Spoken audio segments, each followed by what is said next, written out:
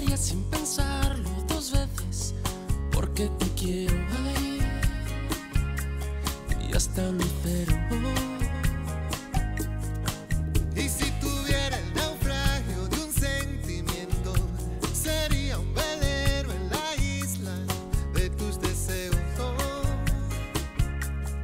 de tus deseos. oh. Pero por Prepare-se para grandes emoções.